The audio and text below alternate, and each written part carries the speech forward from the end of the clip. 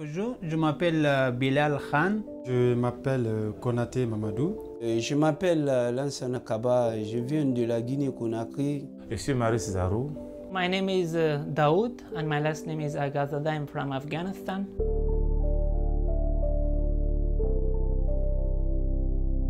Aujourd'hui, dans le cadre de la saisine parcours et politique d'accueil des demandeurs d'asile dans l'Union européenne, on a tenu à avoir une, rencontre avec euh, des demandeurs pour pouvoir euh, échanger avec eux sur leurs besoins, euh, les, freins qui s'imposent sur leur parcours et puis leurs difficultés, mais aussi leurs leur joie. Donc on a, on a cette rencontre aujourd'hui au Secours catholique et dans une enceinte qui s'appelle le CEDRE, donc le Centre d'entraide des demandeurs d'asile et des réfugiés. Je viens d'Afghanistan. Je suis des nationalités maliennes. J'ai 23 ans. Je suis ici en France, je, je demande euh, l'asile parce que c'est ici mon pays que je désire. Un certain nombre de demandeurs d'asile euh, présents euh, et dans, les activités du CEDRE ont pu témoigner de, de ce qu'ils vivaient et aussi ont organisé un travail collectif autour de recommandations communes sur le système de Dublin. Donc on leur a demandé de décrire ou de dessiner euh, ce qu'ils pensaient de, la procédure Dublin. On a été très impressionnés euh, par leurs réponses qui étaient très fortes. On a trouvé trois thèmes, donc les trois thèmes qui vous ont été présentés aujourd'hui, les mauvais traitements dans l'État responsable, l'application de la procédure Dublin en France et euh, les, les pratiques administratives, et l'absence de choix du pays d'asile. La procédure Dublin me rappelle tant de souffrances, de calvaires que les Italiens m'ont fait vi- vivre chez eux. Dans les champs de tomates, dans les champs de raisins. En tant que migrant, travailler gratuitement parce que je voulais les papiers. Ils m'ont promis les papiers, donc je devais travailler dur, comme esclave. C'est ce que j'ai fait, sans avoir les papiers. Ça me donne la chair de poule quand j'attends le mot Dublin. Je me dis que je suis en fuite, je suis un homme recherché. Parce qu'à tout moment, la police peut m'arrêter puis me ramener en Italie.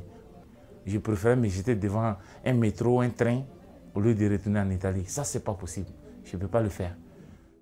Dans l'atelier euh, euh, dans lequel j'étais, euh, un, Afghan qui est depuis 10 ans sur les routes, qui a quitté son pays à 14 ans et qui, euh, 10 ans après, est dubliné en France et toujours pas arrivé au bout de son chemin.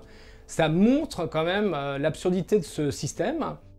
Je suis parti d'Afghanistan en 2008. Je suis allé d'abord en Iran, Turc. Après, je, je suis, je suis resté en Grèce. Euh, trois ans, six mois, euh, parce que j'ai pas de l'argent. Euh, je travaillais là-bas. Après, je parti en Italie. They took my fingerprint. I can't say in French how to say. So they took my fingerprint and I was uh, there for four months. So, après, je venais ici en France, Calais. Après, j'ai parti en Angleterre. Euh, J'ai euh, resté en Angleterre 4 ans. Euh, J'ai travaillé là-bas. Mais pas asile en Angleterre parce que quelqu'un m'a dit si tu as asile en Angleterre, they will send you back to Italy because of a fingerprint. Je suis venu ici en France. Euh, maintenant, je suis doublé. Je suis en Europe euh, depuis 10 ans. Ça fait 10 ans. Et voilà, je suis fatigué. Au CEDRE, c'est le premier projet euh, qui est vraiment que- quelque chose de plaidoyer institutionnel où les personnes vont directement euh, euh, s'exprimer. voilà, donc ça c'était hyper important. Et en fait, on se rend compte que qu'il n'y a pas. Enfin, moi, je me suis rendu compte de ça pendant les réunions. Il n'y a pas de meilleure personne pour parler de cette situation qu'eux-mêmes. Le message que je souhaite passer, c'est que quand on parle d'abord le français et quand on est issu d'un pays francophone, d'où nous avons appris non seulement la civilisation française, la culture française, mais également l'histoire d'une manière générale de l'Europe et en particulier de la France, nous pensons quand même qu'une fois qu'on a été persécuté d'une certaine manière ou d'une autre et qu'on cherche refuge, le plus facile et le mieux serait de demander l'asile dans un pays où nous avons une facilité linguistique et nous avons également des attachements historiques. Ça a été un grand bouleversement dans ma vie de savoir qu'en réalité, je ne peux pas demander l'asile en France et qu'il fallait retourner dans un autre pays. Donc c'est quelque chose qui fait très mal.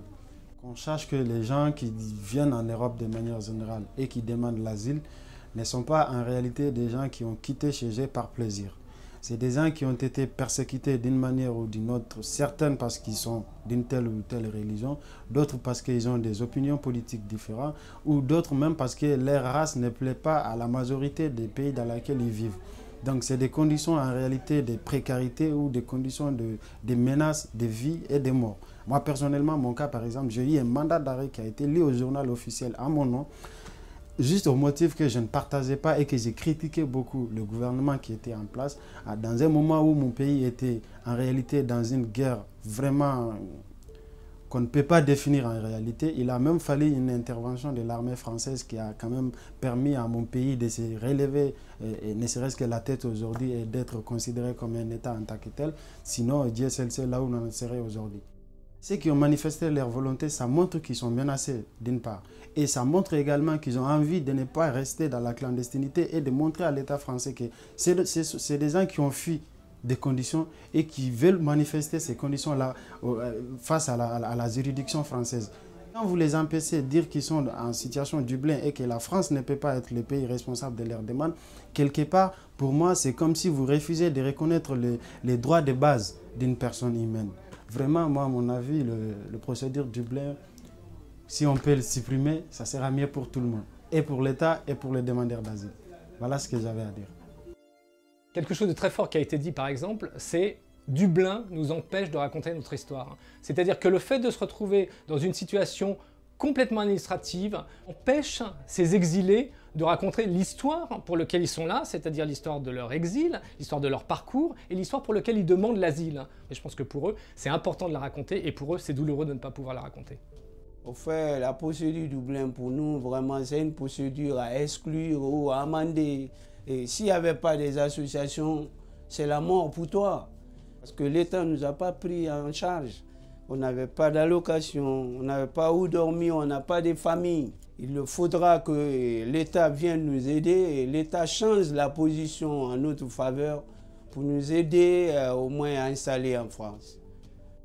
Ce qui est important de comprendre euh, dans le cadre de la procédure Dublin, c'est que c'est un, système qui échoue en fait à répartir de manière juste et équitable les personnes euh, euh, d'asile, et ce depuis 20 ans. Dublin repose sur la fiction que les personnes ont les mêmes chances d'avoir une protection internationale dans les différents États européens. Or, ce n'est pas le cas.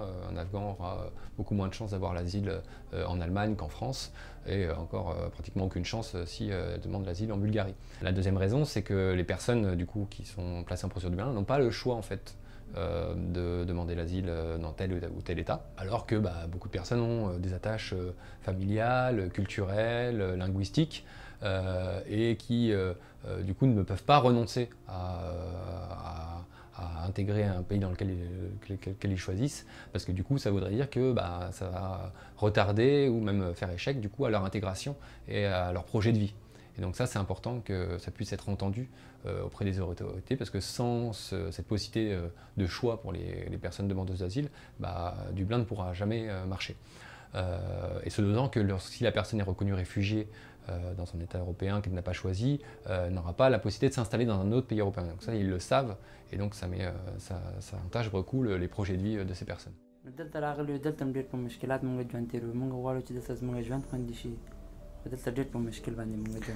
Yeah, he said, uh, as I left my country, there was very hard life in my country for past that. That's why I left my country and I came to France. So now here also it's the same. I hope it be good for all refugee asylum seeker here, especially for the people that they are in Dublin process. Just I want to say, please help refugees. Refugees are humans, the same. They are main shows. I hope all the best for the refugees and all the people around the world. That's it.